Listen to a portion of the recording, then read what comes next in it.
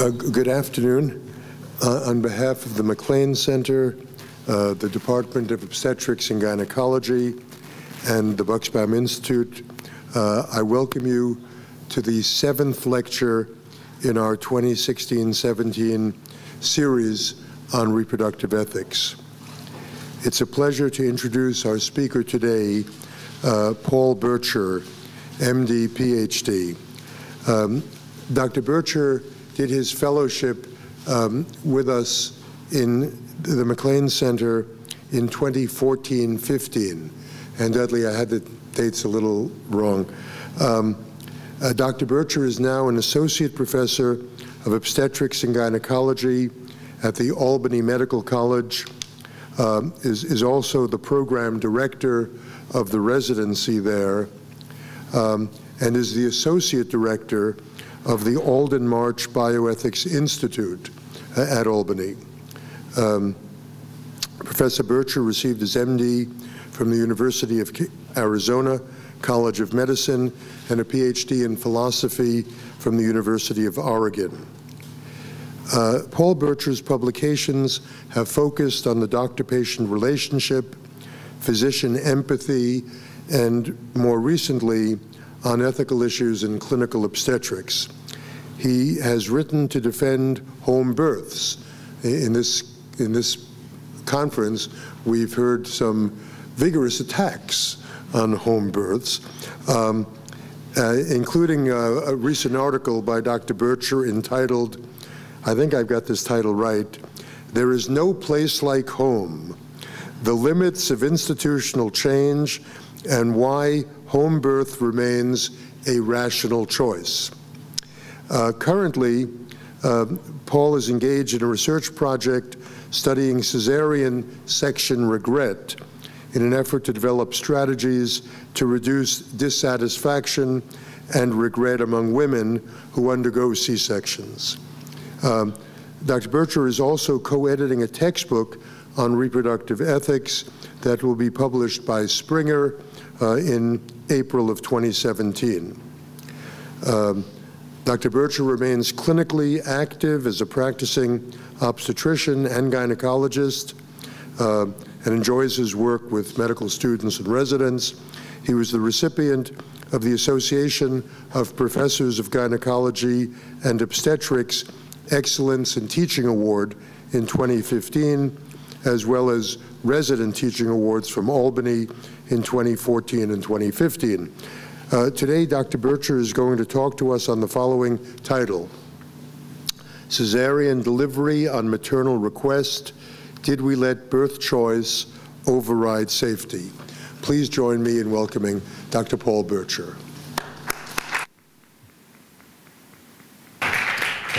Thank you. Uh, thank you, Dr. Siegler, and thank you, Dr. Chor, for inviting me. I appreciate the opportunity to, to speak here. It's wonderful uh, being back in Chicago. I was reminded last night of all the fabulous restaurants here. Um,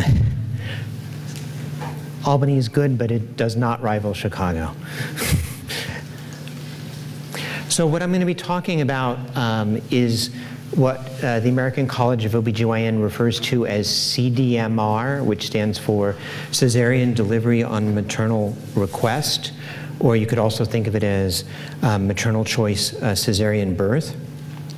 So I'm going to review uh, essentially the history um, of CDMR in the literature and then um, talk about kind of a changing understanding of the ethics of CDMR. And ACOG in particular uh, shifted its position on CDMR between 2007 and 2013, and I'm going to talk about why that shift may have occurred. Um, and then I'm going to end with uh, a suggestion that perhaps a, a, a, medical application of the precautionary principle might be a useful way of framing this discussion about the ethics of CDMR. And um, if I am guilty of OB speak, meaning that I start using uh, you know, abbreviations or uh, medical terminology that I haven't properly defined, please just stop me and I will do that. I, you know, I forget that, that, that uh, not all of you have to live and breathe obstetrics the way I do. So um, as I said, the, the, the, term that I'm going to use is CDMR, which, which means an elective cesarean section requested by the pregnant woman. The, that is actually different than, than the term elective cesarean section. A survey of women who were postpartum actually found that the more common cause of an elective cesarean section was a, a physician-initiated elective cesarean section. So uh, a, a woman initiated is actually less common than physician initiated. But an elective cesarean section in general means one that, that doesn't have a medical indication. And so an elective cesarean section where the woman makes the request is then CDMR. Okay? Um, we don't have a really great um, hold on how, um, how many CDMR cesarean sections occur. And the reason is, is there's no, I guess it's ICD-9, ICD-10 code. There is no code for, for CDMR. And so the, the ways of sort of getting at what, what the true number is, is, is, is, is difficult. Most of the literature places the number at somewhere between 2 and 8% of cesarean sections, although the NIH actually um, estimated that it was higher than that, and some of the more recent literature ha ha has also sort of intimated that that number, that, that even that 8 that 8% number may be too low. I used the 2 to 8% number to say that, there, that, that, that the exact number then would be somewhere between 30 and 100,000 per year. And that's based on the fact that there are 1.3 million cesarean births in America per year, and our overall cesarean section rate in America currently is, is running at just over 32%.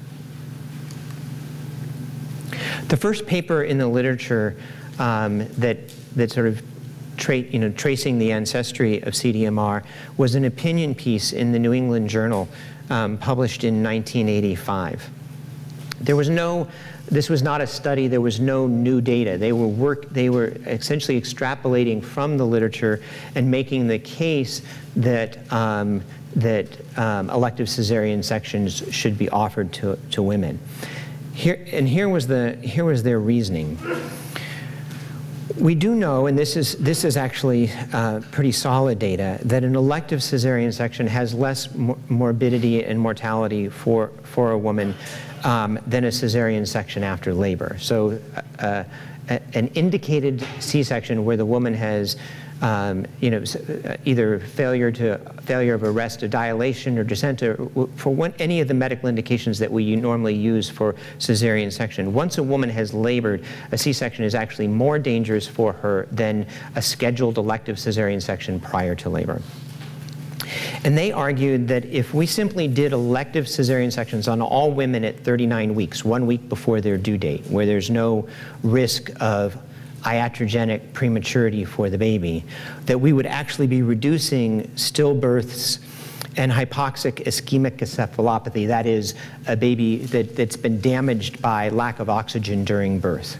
Okay, so brain damage to the baby because of lack of oxygen. And that by simply eliminating um, labor between 39 and 42 weeks, we would be, we would be reducing stillbirths and essentially eliminating hypoxic injuries to newborns. And, and by their math, they, they calculated that, that essentially five to 10 uh, babies' lives would be saved for, for what they, by their best guess, would have one excess maternal death. So they said, oh, you know, that looks pretty favorable. So um, based upon that, um, this is something that should be offered and discussed with all, with all the patients.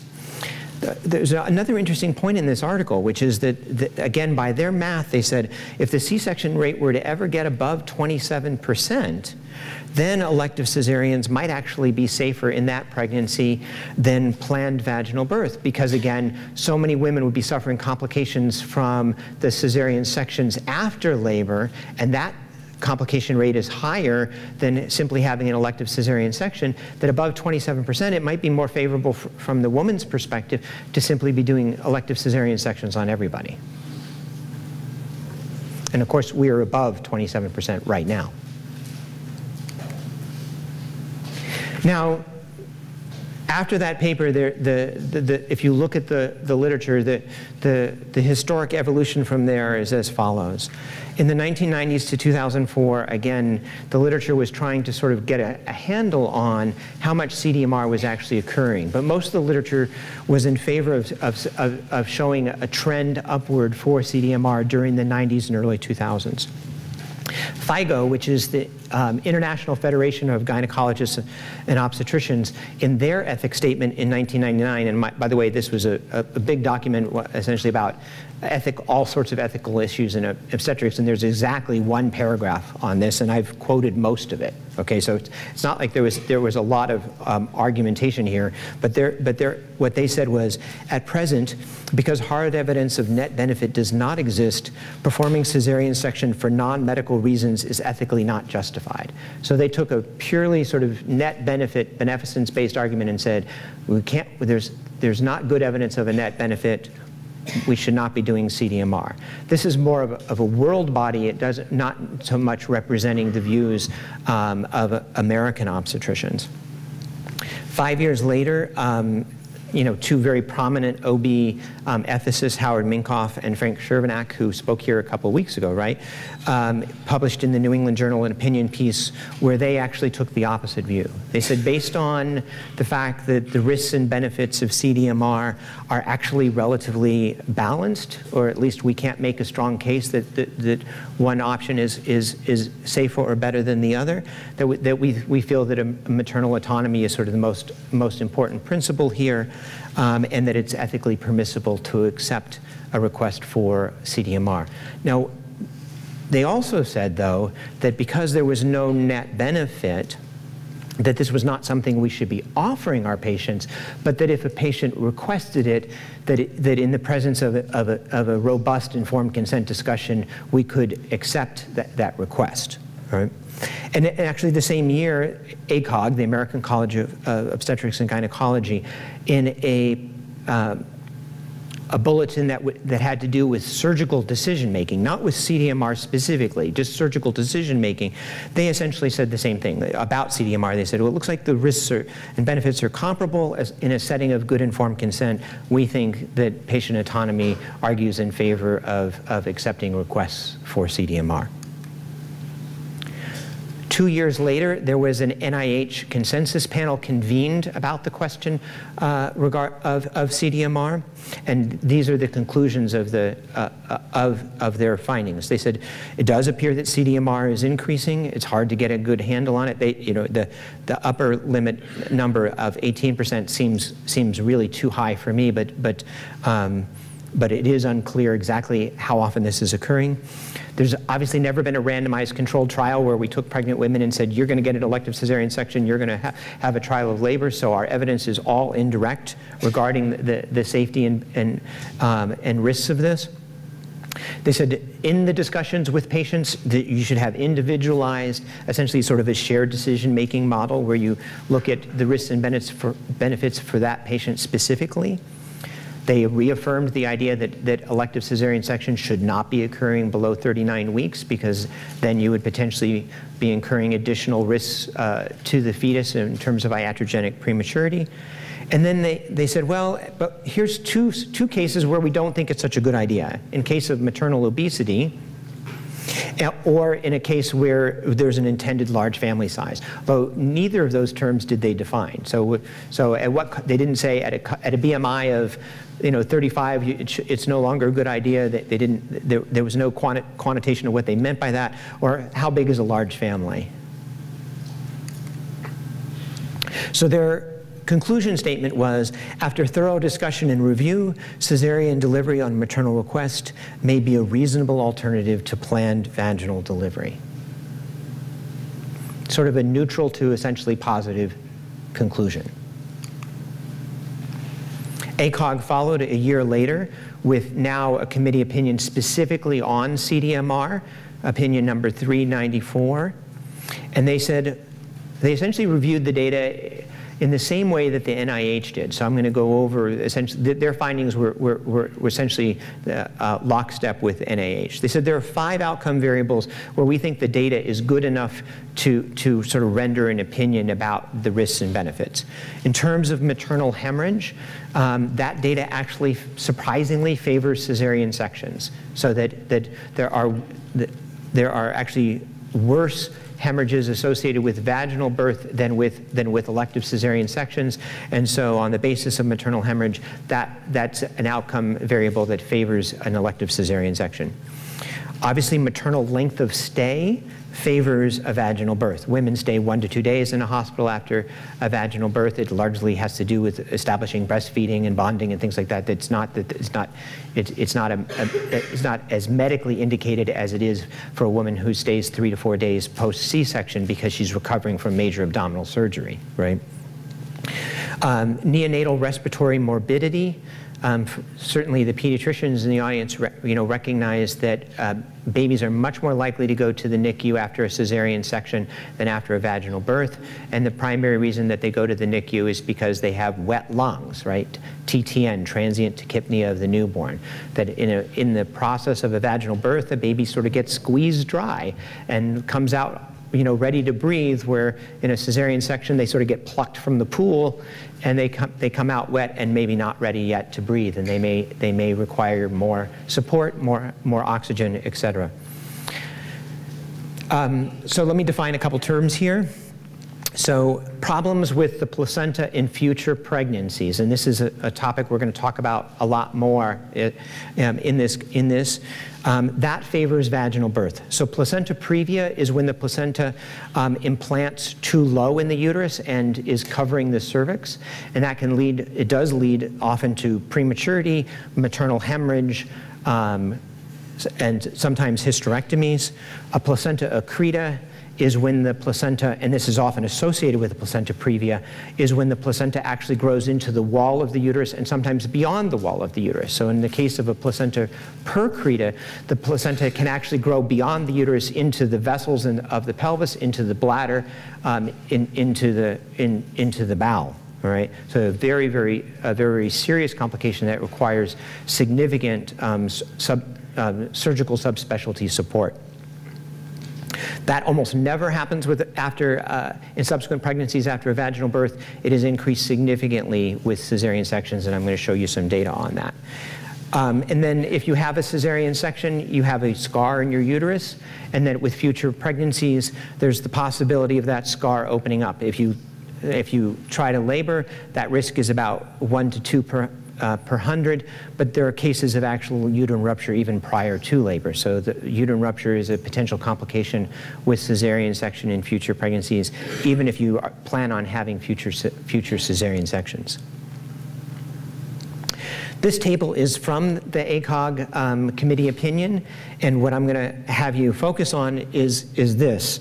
So you can see that once you have once you're having more than one cesarean section, additional cesarean section, the risk of placenta accreta beca now becomes substantial, and you can see it increases dramatically with, with, with additional um, cesarean sections. The same is true for the risk of hysterectomy. They went on to say that, surprisingly, that, that they felt that, that these were, were four um, areas that, that they felt the data was either inconsistent or too weak to make a judgment, to pass judgment on or to make decisions regarding the viability of CDMR. So remember the paper from New England Journal the, in 1985 that actually argued that one of the reasons we should do elective cesarean sections was stillbirth. They said, well, no, because although in the index pregnancy, in, the, in that particular pregnancy, the risk of stillbirth goes down if you simply deliver the, the, the baby at 39 weeks, but in future pregnancies, stillbirth rates are actually increased by a prior cesarean section. So they essentially cancel each other out. All right. Um, pelvic organ prolapse, I think it's, it's, we consider it sort of common knowledge that cesarean sections re reduce pelvic organ prolapse. And that's true to some extent, but the number needed to treat, that is the number of cesarean sections you would need to do to, to, to prevent a single case of pelvic organ prolapse that requires surgical intervention is so high that it's not, it, that that's not a good argument for performing cesarean sections. Specifically, if you look at stress incontinence, right, so loss of, you know, involuntary loss of urine after, after a pregnancy, in the first year after a vaginal birth, women who have had a cesarean, cesarean section have less stress incontinence than a, vaginal, than a vaginal birth. But if you look at two years, there's actually no difference. So the, the, the, the incidence of stress incontinence two years out from, from a birth is no different between a cesarean section and a, and a vaginal birth. Um, maternal mortality, again, I want to focus here that this is, this is in, in dealing with that specific pregnancy, the index pregnancy. There's no evidence that, that, that, that there's a substantial difference in maternal mortality between an elective cesarean section and a trial of labor.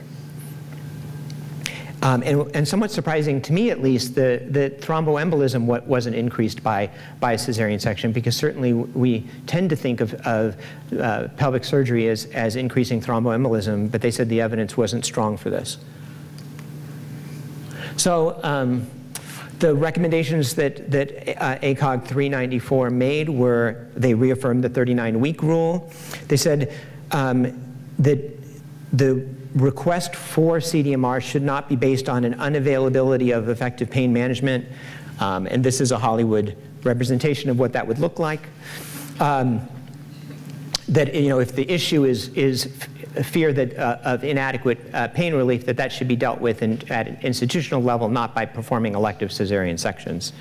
And again, they said that it, it's not for women. Uh, they would not recommend it for women who desire several children again, without defining what that would be and, or where they think that cutoff should be.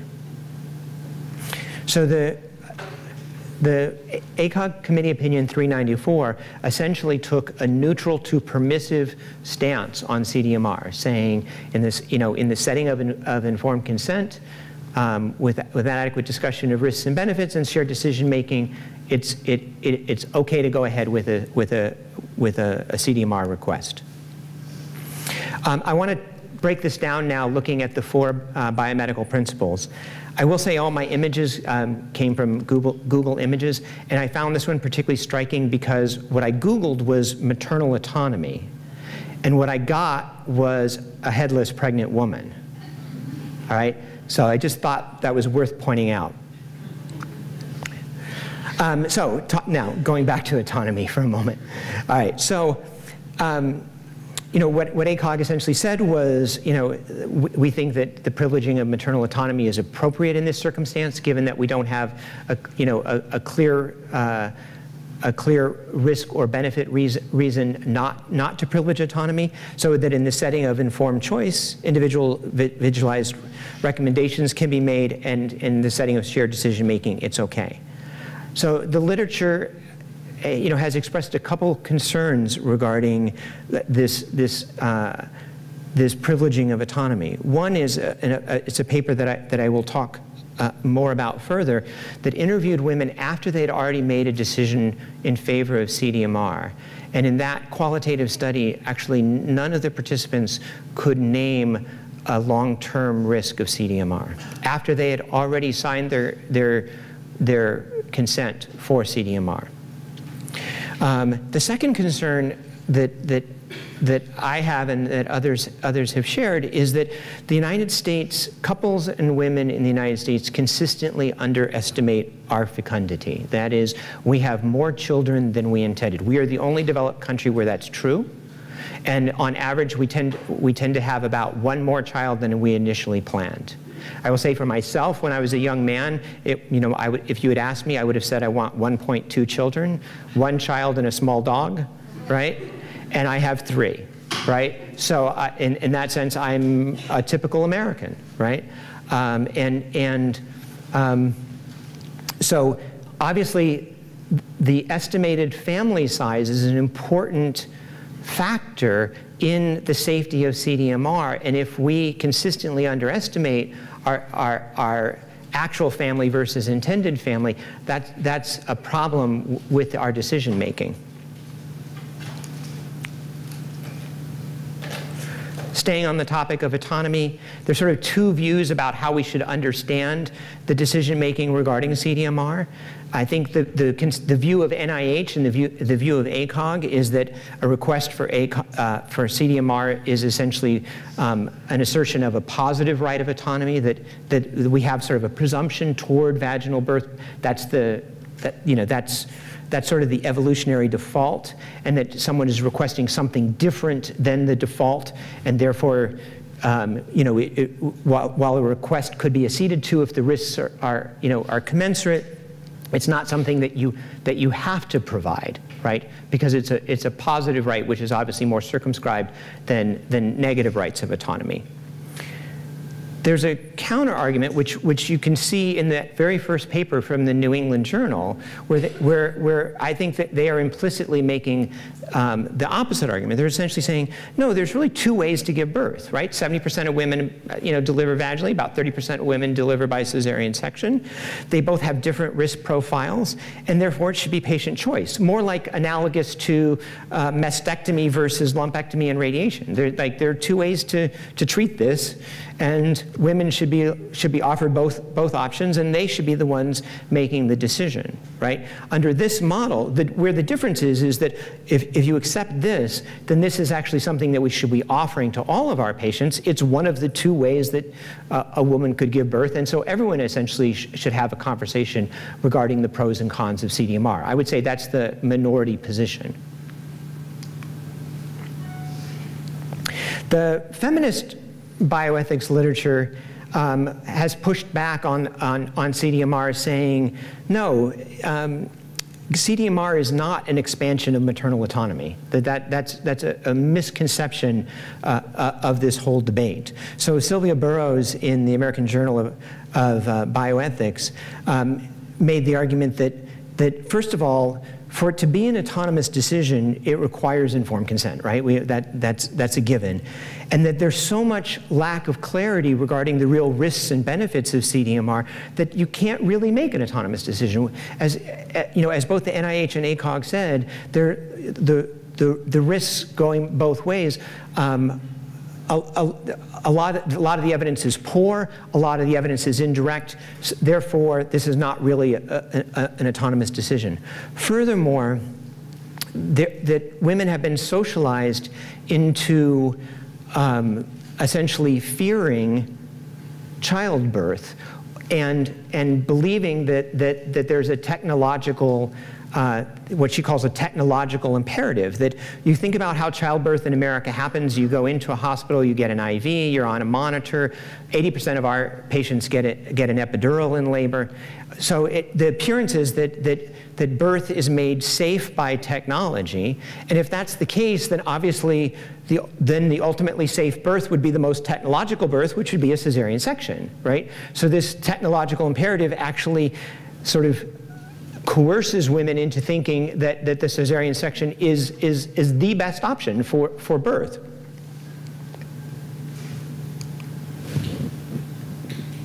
Moving on now to the second uh, principle of biomedical ethics, beneficence. What I would say about this is that there's a lot that there, there's a lot of distortion regard, regarding why women are actually choosing CDMR um, and the media is certainly not helping this. So in a, in a paper where um, Dr. Wax looked at uh, all, sort of all the, the studies about why women were choosing um, elective cesarean sections, the overwhelming reason is not what you might think. It's, um, it's not convenience, it's, it's, not, um, it's not the high-powered mom, it's actually fear of labor. And that most of these women were of a lower socioeconomic class, they had higher rates than average of depression and anxiety, and a lot of them actually had prior trauma. Some of them prior birth trauma, some of them prior traumatic experiences in their life. Right? Now, that, I, I want to step aside one moment and say I recognize that, that this is actually different than um, than the rest of the world. So in a lot of the developing world, CDMR actually is sort of a, a upper class sort of phenomenon associated with the wealthy, but, but that, that actually appears not to be true in the United States. Then in this qualitative study that I referenced previously uh, from the Journal of Midwifery, where they interviewed women who were, who were going to have um, a, a CDMR birth, the, the way the women spoke, and again, this echoes what Sylvia Burrows was, was talking about, was very much of, um, was one of, the, one of the women said, well, I've never, I've never given birth, I don't know anything about it, but the doctor's given, you know, the doctor has delivered thousands of babies, so I just want to turn, turn, it all, turn it all over to him, and and because he know he's the expert, so I'm going to let him take care of this. Sort of a switching off, right? Um, and and that, that what they what they wanted was the baby. They had they had there was literally no privileging of sort of the birth experience or the birth as an event itself. So um, what I want to contrast this with is, is the popular conceptions about CDMR that, that, as I suggested, actually the literature has said are wrong, but I think this, this actually distorts the whole conversation regarding CDMR. So I just want to spend a moment talking about that. I also wanted to say that, that I'm probably, uh, I didn't understand the, the pun of this until, so uh, we did this uh, paper published in Birth looking, doing a content analysis of, of the media representations of CDMR. And I think, I think we put, in, in the first paragraph, we used that, that term too posh to push, and I actually didn't even understand it at the time that the, the paper was published. It had to be explained to me that that's a pun, right? Because this is Victoria Beckham, who, her name as a Spice Girl was Posh Spice all right? She had four elective cesarean sections, and hence the term too posh to push arose related, related to her choice to have uh, elective cesarean sections. But what, what, what I want to point out is that the, in, in popular media representations, the fear of labor, which as I said is the overall, overwhelming driver of CDMR, is, is essentially completely ignored right? Um, and instead, the, the, the, popular perception is, is this too posh to push, uh, that this is, what, this is what rich people do, this is what high-powered people do. Um, also in the popular media, the risks of, of cesarean section are essentially never discussed. And the other thing that's never discussed is the fact that there's significant physician ambivalence around CDMR right? So in surveys of obstetricians in America, at least, between 43 to 48 percent of them actually will not perform um, a CDMR cesarean section. Um, and only 18% of them think that, that, that, that, there would be some circumstance where, where they, they would find it acceptable for themselves uh, or for their partner. So the, the perception in the popular media is that physicians are all, are, are all gung-ho about this and that, um, and that it's the, the, the rich and famous who are getting it. And I just, you know, that's actually not the reality. The justice issues are also um, muddier than you would think.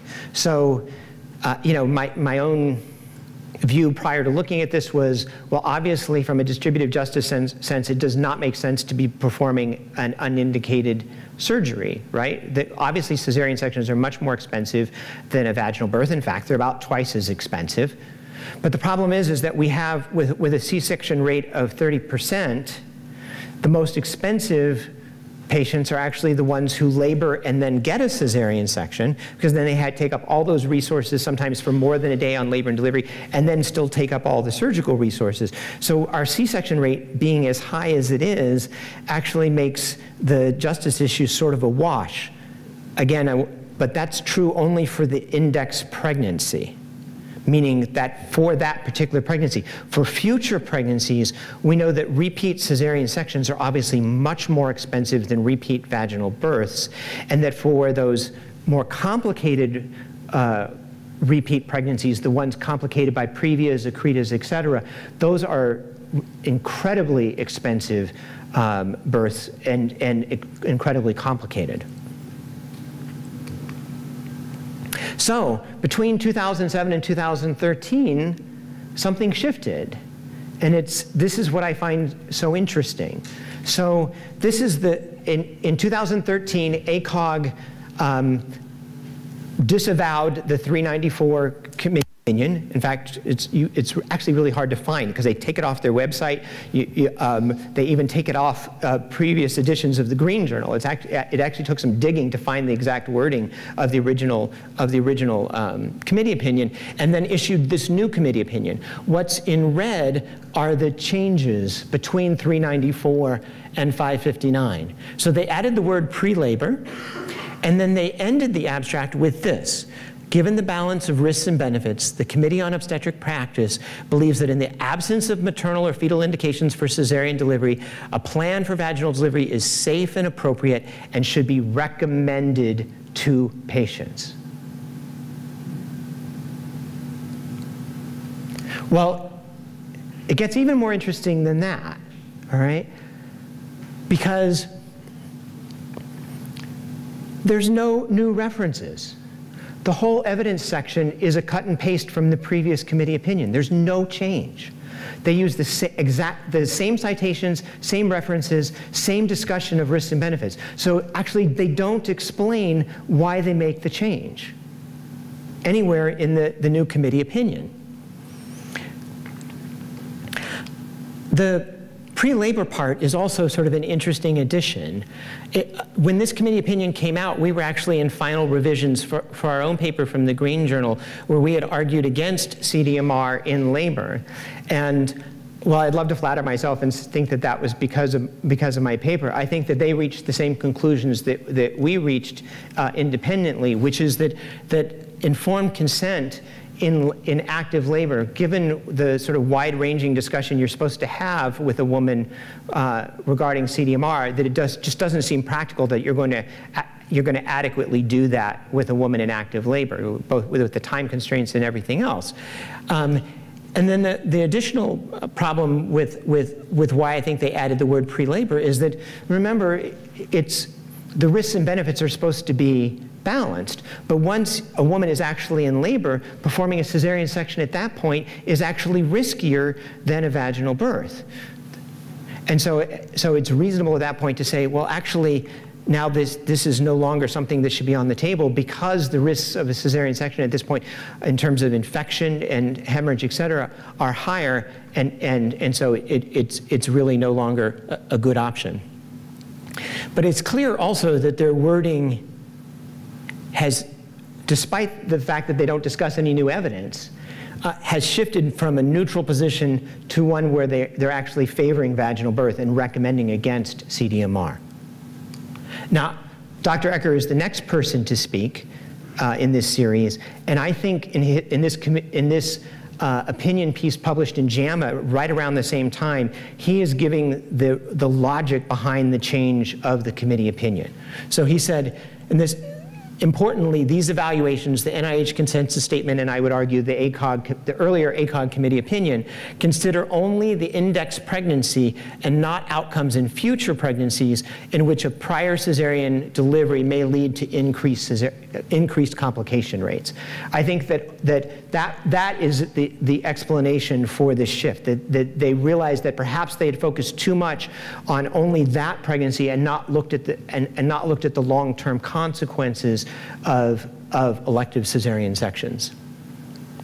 This is a paper from the Green Journal published two years before the, the 2013 change that looked at, it's, it is an association, it's not, this is not implied causality, but, but, but what, what they found was that in 1998, the cesarean section rate was 21%, and the maternal mortality was 10 per 100,000.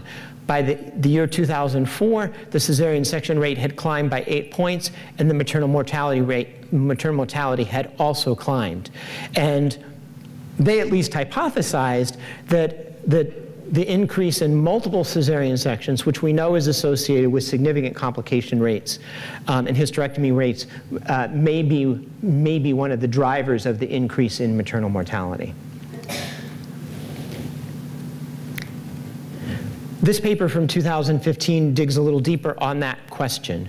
So when, when, I, uh, when I was a resident in the early 1990s, I can count on one hand how many placenta accretas we took care of at University of Rochester, right? Um, and it was, I think, three in four years. even though that's a, we had a very large catchment area. And I remember one of them distinctly because one of them was a patient who was delivered at a community hospital rather than being transferred to the university hospital, and she actually died on the table. Right? So she was a maternal mortality related to a placenta accreta, and the the obstetrician was, was roundly criticized for not transferring her to the tertiary care center. So I think th th while these statistics are somewhat reassuring, the problem with this uh, study from the Green Journal is that it was looking at the outcomes only from tertiary care centers. Where, where, where, where we have a lot of experience dealing with accretas. I will tell you that experience has increased dramatically. So now in contrast to my experience as a resident, we deal with one to two placenta accretas per month at Albany Medical Center. We have an accreta team, right? And so, you know, we go from three and four years to one to two a month. But the cesarean section rate in the 1990s had just climbed to like 16%, right? And now we're looking, our cesarean section rate at, at Albany Medical Center is almost 40%. 40? Almost 40.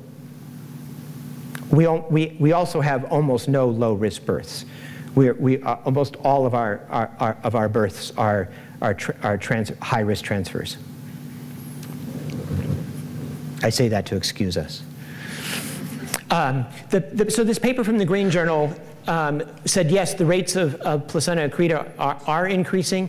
They recommended tertiary care delivery, but the problem is, is that you only identify about half of the accretas prior to um, prior to the birth, which means that a lot of accretas are actually being delivered in community hospitals. And this paper actually doesn't address the outcomes in community hospitals. In fact, there has not been a paper addressing what the outcomes are uh, for accretas in, in community hospitals. And this may be a silent driver of increased maternal mortality.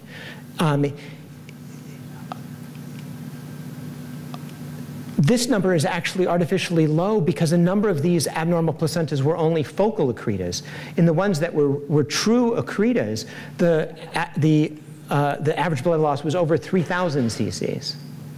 Um, and the 70, you, you, can, you can tell this is artificially low because they have a 70% hysterectomy rate. In true accretas, the, the hysterectomy rate approaches 100%.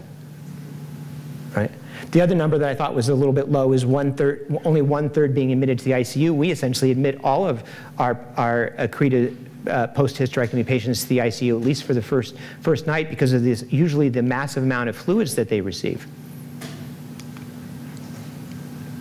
So this, this paper from the Journal of Maternal Fetal Medicine um, argued that essentially that, that, that our increasing cesarean section rate, and particularly our elective cesarean section rate, is, is, is actually driving an increase in maternal mortality. And, and while, I'm sorry,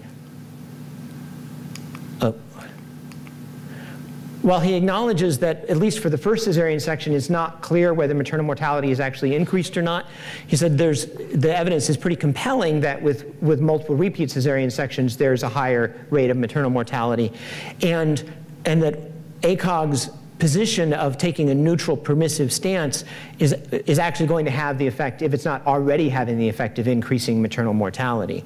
And, the other point he made is remember that the first cesarean section after an elective cesarean section isn't that much riskier than the original cesarean section.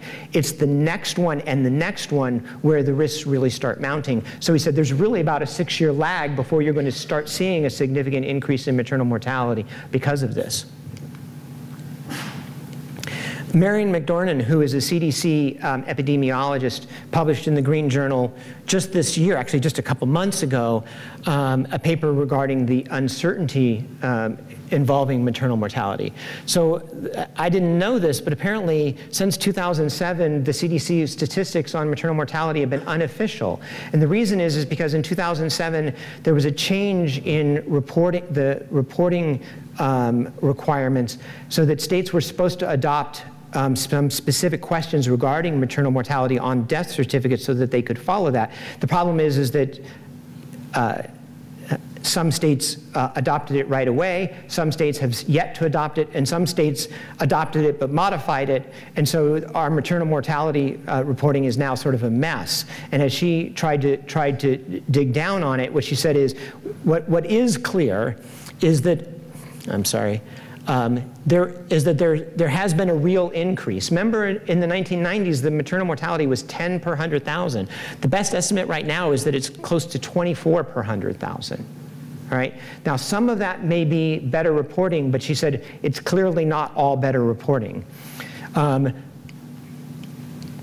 i will try not to comment on the fact that Texas's maternal mortality has doubled and the, the quote from the paper where she said that, that, that this appears to be real, not an artifact of reporting, and that the only time they've ever seen that kind of ch uh, change in, uh, in such a short period of time is in wartime.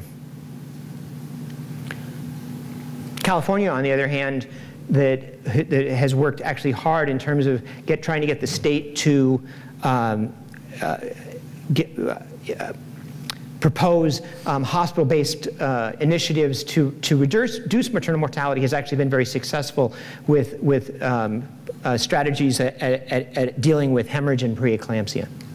So it is possible to drive the, the maternal mortality rate down, but it, but it takes a concerted effort.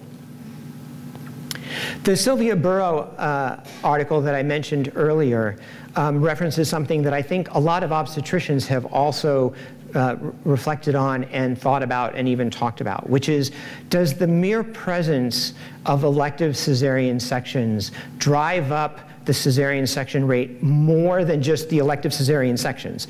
That is, that is, we've all sort of heard on labor and delivery the, it's like, well, you know, now we can do a C-section for any reason. This one's not going so well. Let's just throw in the towel. So the, the idea that, that uh, are we throwing in the towel earlier now that you don't really need an indication for a cesarean section? So is there a multiplier effect?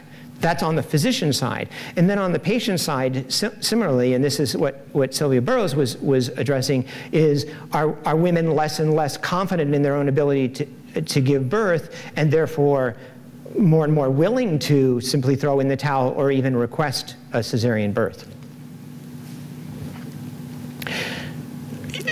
You may notice that I actually changed um, the, the title from here to the one I gave today. I dropped the word maternal safety and just said safety. And the reason is, is because there's, there's some new evidence that, that, that um, I've only recently been, aware, been made aware of, it was actually a third year medical student that actually pointed me to this literature, um, about the potential consequences for the baby of elective cesarean sections. So um, ACOG just recently uh, issued a committee opinion where they acknowledged that cesarean, babies born by cesarean section actually have higher rates of asthma, autoimmune disease, cardiovascular disease, and obesity. And the presumed reason is actually differences in gut flora. And this is fascinating to me. This paper from, um, from the American Gut Project actually looked at the gut flora of adults born by cesarean section and by, and by vaginally, and their gut flora was still different. So if you were born by cesarean section, your gut flora was less diverse and closer to skin flora than to than, than the uh, sort of the, the enteric flora that, that you would you would expect.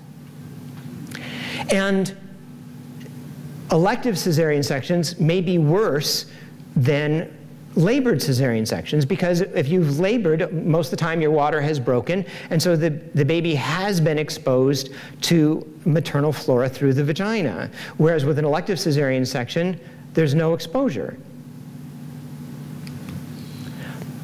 This paper from JAMA Pediatrics, again, just two to three months ago, and this is the one the student showed me, um, is very intriguing. So a prospective cohort following 22,000 children from 1996 to the present.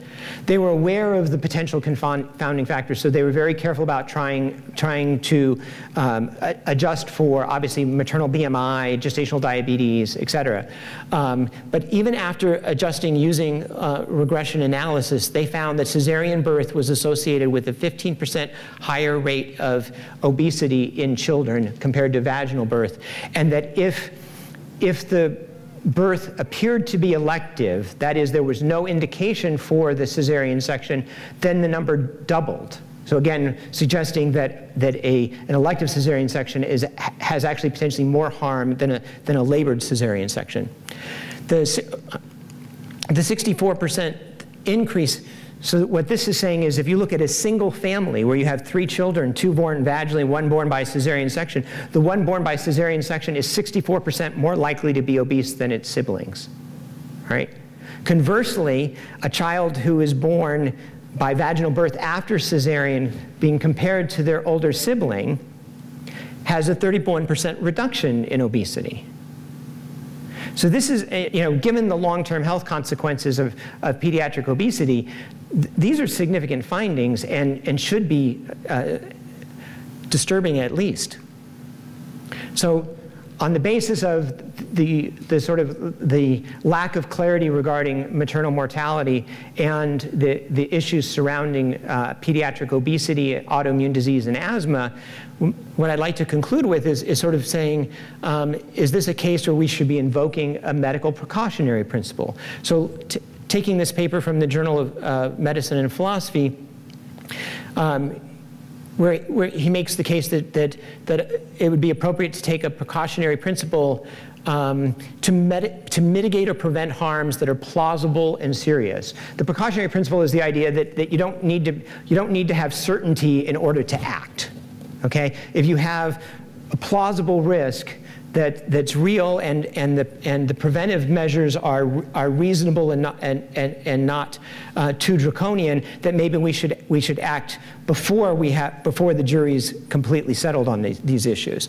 And I think this may be a case where, where a precautionary principle is, is appropriate.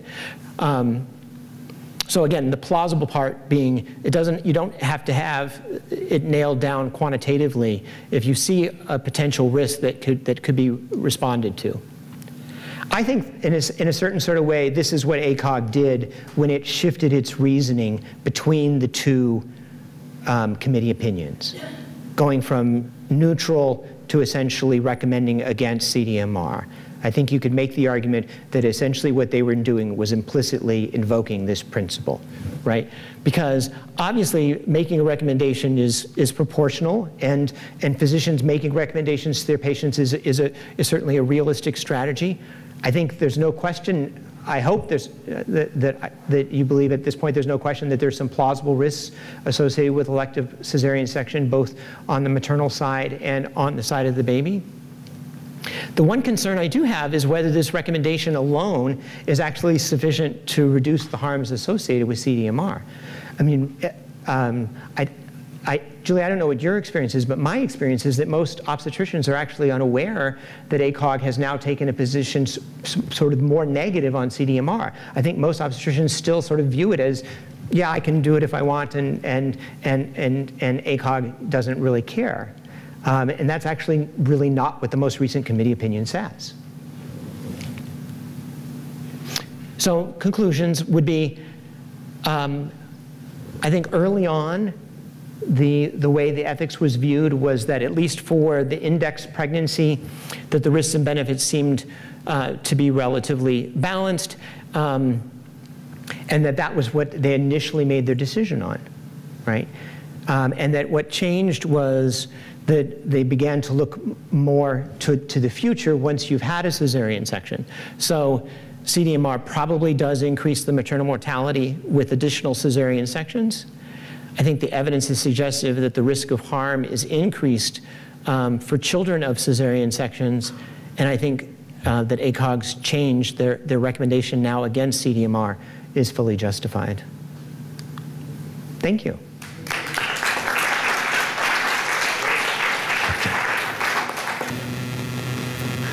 Yes, Mo, please. Thank you. Yes. Thank you very much. Since I'm an, an, old obstetrician and I went through the ACOG 207 and 213. Um, my question is actually about the patients that who are hypertensive, preeclamptics, and all these patients that end having cesarean section. Is there a is is it the C-section that make the babies hypertensive down the road, or they inherited something from their parents? Is there a genetic factor in causing their hypertension, or just the action of cesarean section, which is just it doesn't um, for an old obstetrician, it's not convincing to me. This is number one. And I'll ask my next question after you answer. Uh, I mean, we know that the, the, first point that you made is is absolutely true. That that right, that children of preeclamptic moms um, do suffer from higher rates of hypertension, actually suffer from higher rates of obesity themselves, right? Um, and and that's that's all true. Although the the the JAMA article actually um, was looking at specifically, uh, they, they were looking at elective cesarean sections. So if you had preeclampsia, you would have been eliminated from that from that pool. Although they, you know, they showed that for all cesarean sections, the, the rate of obesity, et cetera, was 15%, but that if you ha didn't have any indications, so that would eliminate those preeclamptic women, the, the rate of obesity actually doubled to 30%. So the answer is yes and yes. My, my second question, just I'm, I'm not taking everybody's time, I have to leave. But my second question is the question of seeding of the patient, of the baby's mouth yes, yes. with vaginal flora. I mean, this is took off, and then people, half of the people with it, and the others say that it's just uh, fade, and you should not subject these children for vaginal flora, that may cause problem for them in the future. We don't know. You take an infection and put it in the baby's mouth, and you're hoping to get the vaginal flora to be.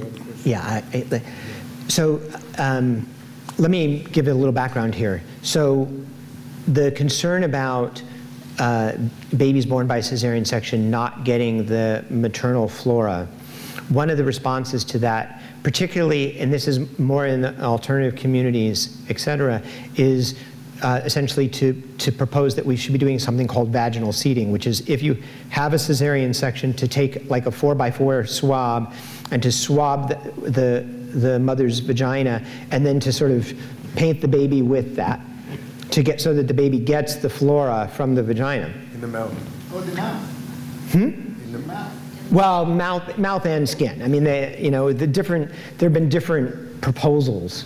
Um, and ACOG, I think it was just two weeks ago, actually uh, came out against that, saying, you know, while, while it's clear that, that, that it may be true that, that, that being exposed to the to the maternal microbiome has benefits, we have no reason to know that this is, this is of any benefit and could certainly be, have some risk. It's not been studied, and people shouldn't just uh, sort of widespread, uh, uh, you know, adopt this, this policy. I, and I, I certainly agree with that. Better.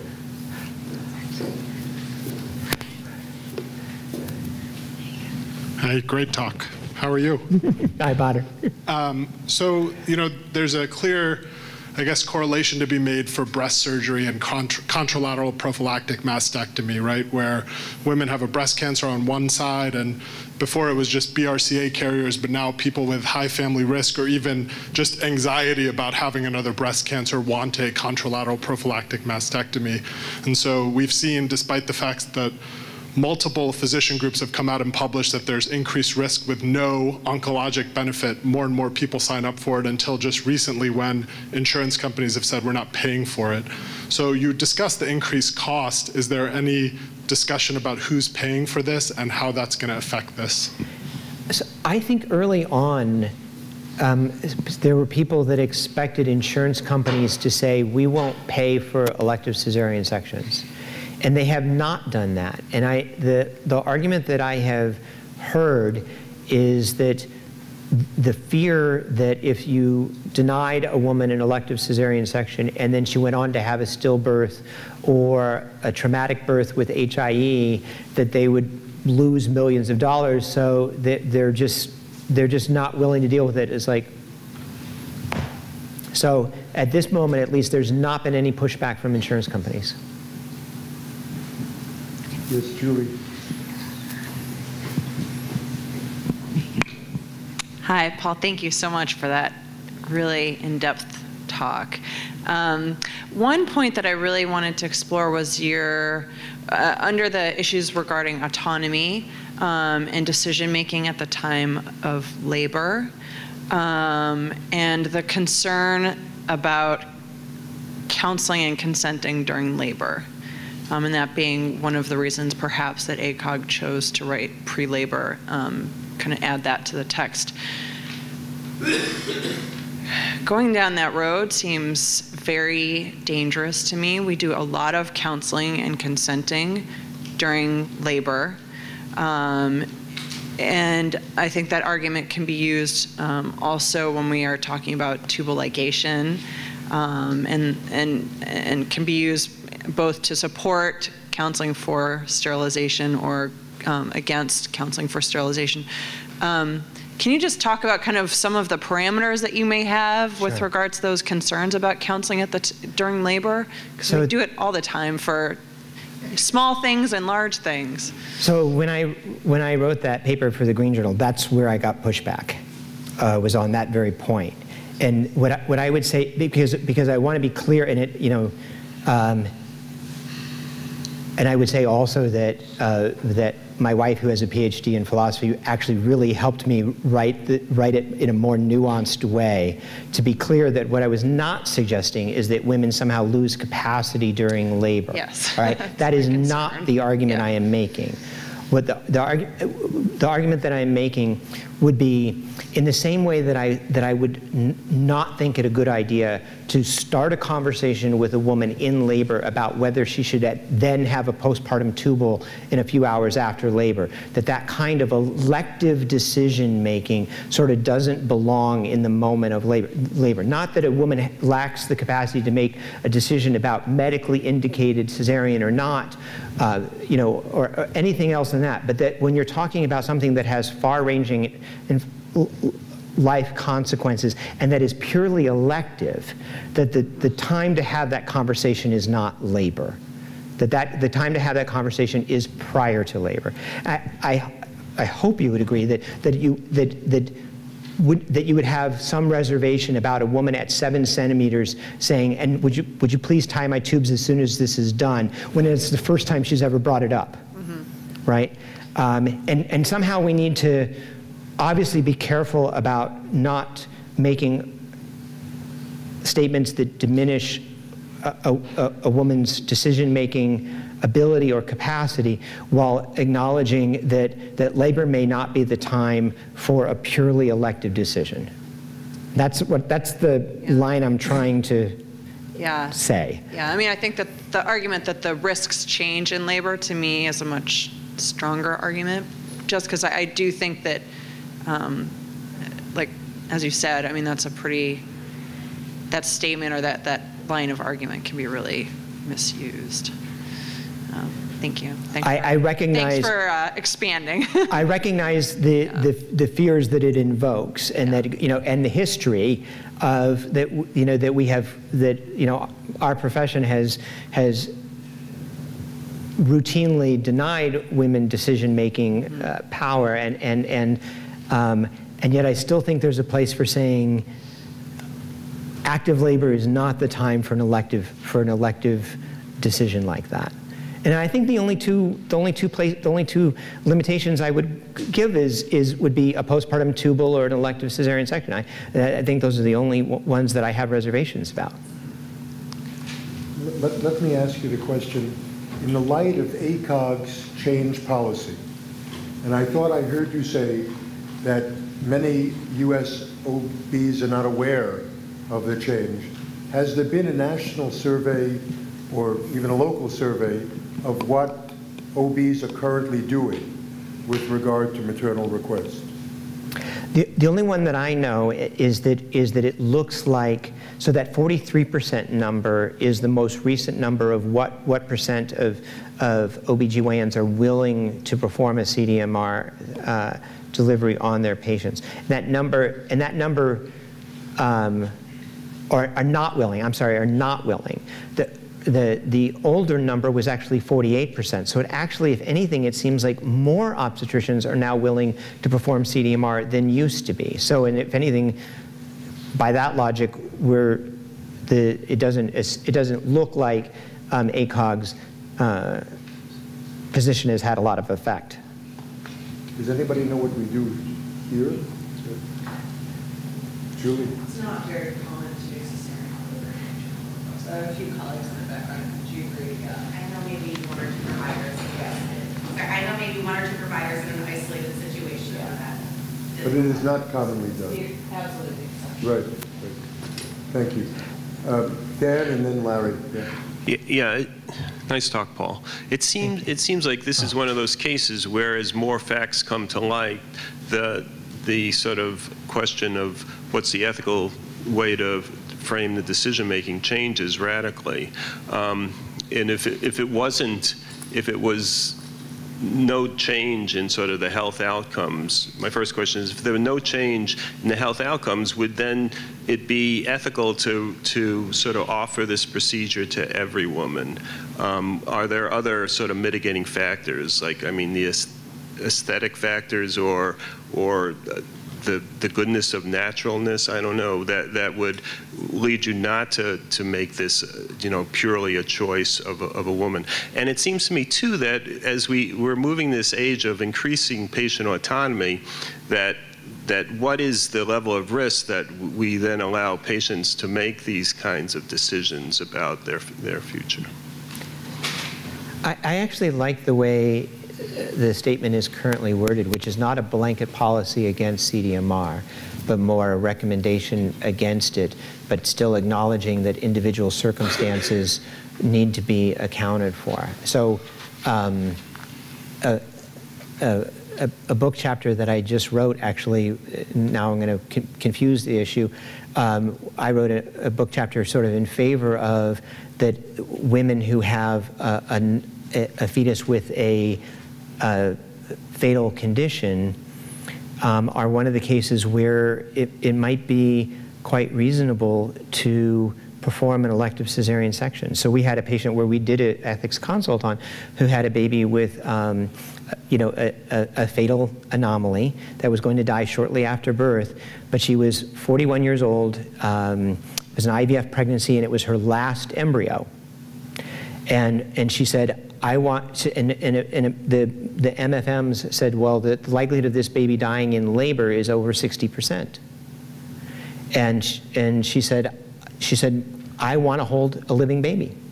And I know it's going to die, but I'm willing to go through a cesarean section to hold a living baby. And she's not going to have another pregnancy. And she's not going to have another pregnancy.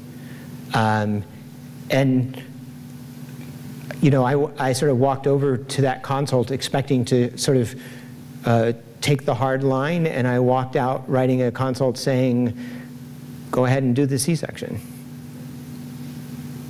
So I do think, I do think there's, there's a place for individualization of care here, and that, that I'm, I'm glad that, that we're, not, we're not taking a position simply blanket against uh, elective cesarean sections, that you have to look at the individual circumstances. Larry? That was, that was great. Um, the concept of the vaginal birth after C-section being accepted and the having a C-section is sort of elective. A lot of obstetricians will give a woman the choice to do either one. Where does that fit into this scenario? Is that the same? Well, so I think, so if, if you think about the fact that, that tocophobia, fear of labor, is the reason most women are choosing, are making a CDMR request. I think if they've had a cesarean section with that first pregnancy, it's extremely unlikely that that woman is then going to request um, a trial of labor after cesarean with, with the subsequent pregnancy. There was one, one piece of data that I, I find really interesting, and it was from that, the WAX paper that looked at sort of all the studies on, on why women were choosing CDMR. And it, it, it said that, that women who, who actually didn't get a CDMR, who had tocophobia, and then went on to deliver, to labor and deliver vaginally, actually had much higher um, patient satisfaction and self-esteem than the women who got their cesarean section. Um, so that so that in a certain sort of way that by doing the cesarean section you're essentially confirming th- their their fear rather rather than letting giving them the opportunity to overcome it. Yeah, but you, you have an increased risk of rupture, as you mentioned. No, yes, yes. a but- different scenario. I, I'm, what I mean is that if, yes, eh, but I mean that if, I, I think that if you, once you've had a cesarean section, and the first one was elective, I think it's extremely unlikely that you're going to choose Well, something Let's say the different. first one was not elective. Hmm? Let's say the first one was not elective. Okay, The second one now, you're given the option. yes. To have an elective one with the increased risk of whatever small percentages of rupture. Right. Would that fit into the- your scenario there, or would it be a totally different? It's a, t- it's a totally different s- situation because it, ACOG's position on that really hasn't changed, which is that once, once a woman has had a cesarean section, it's a whole different set of risks and benefits as, we, as, as you look at it. But, um, but that, that, that, that really is a, a case where um, you know, there's risk of, of uterine rupture if you, if you try to labor. Um, and if you have repeat cesarean sections, you have some of the risks that, that we talked about. And so, you know, ACOG's position is this, you know, this is a woman's choice and you, you give her all the information and you, you let her make that decision. What I will say is I've, I've heard now, again, just because uh, you know, I, I talk to, to women who, who have more alternative sort of birthing uh, ideas and, and strategies that some of them who have had cesarean sections are now responding to this data by saying, um, I'm going to wait till I go into labor before I have my cesarean section so that the baby uh, potentially gets inoculated with, with the flora before, before I then have my repeat cesarean section. Yeah, I, I, I was, I mean, with the rise in the incidence of cesarean sections, as you say, your, your institution is now up to 40%. uh, I, I had not been aware of these risks to the babies. Uh, are those risks only for elective cesareans, or do they apply also to cesareans after labor? They, they, so at least the, the, Ja- the pediatric JAMA study su- suggests that they apply to all babies born by C-section, but that, but that at least in the case of obesity, it's doubled if, if it was an elective cesarean section compared to an indicated one. So 15% versus 30. But still, I mean, even for the non-elective cesarean sections, Yes. the children are, The increase in childhood asthma um, is some, were so- other people aware of that? I- yeah, you were. I somehow missed it. You were too. yeah. Uh, The obstetrician, when she told me that I needed a non-elective cesarean section. Is that right? And also increase the asthma and the comorbidity in another countries, they, have they seen that as well? Question is whether other countries have seen this increased risk to the kids.